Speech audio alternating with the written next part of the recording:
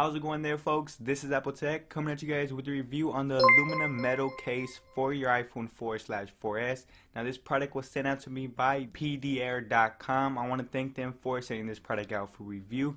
As you guys can see I will be doing the unboxing review giving you my final opinions on this product and if you guys want to go pick one up it's $24.99 on their website so enough talking folks now let's just get to the unboxing of this product so we'll just take it out of the packaging itself. And now just take it out of the plastic. And on the box it says PDair. And on the side it says aluminum case for your Apple iPhone 4 or 4S. This one does come in silver.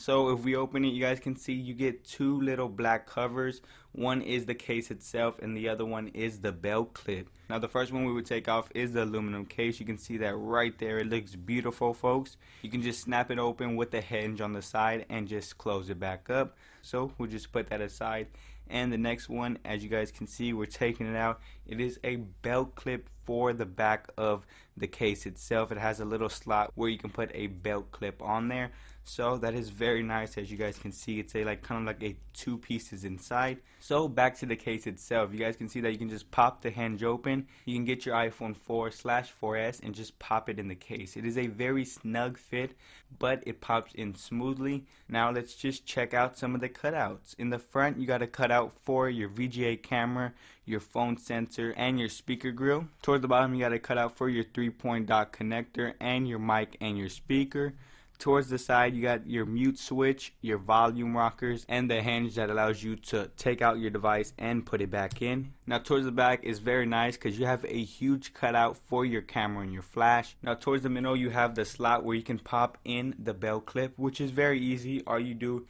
is grab the little screw, just screw it in.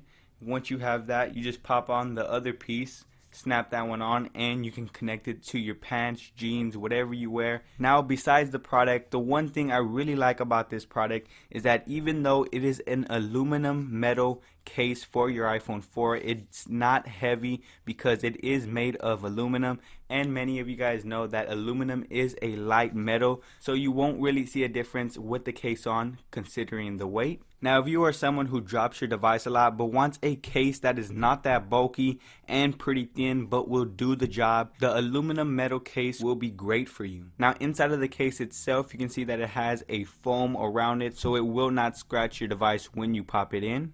Now, as you guys may know, since it covers the front, it does have a lay on the table design.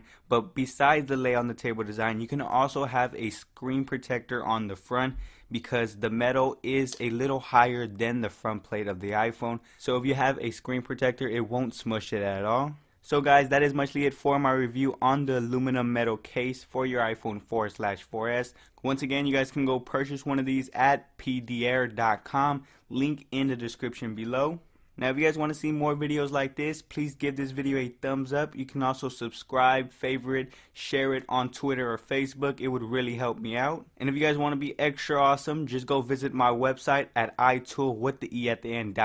I will also have that in the link in the description. So that muchly concludes this video. You guys know me. I'm Apple Tech. Catch you guys in the next one.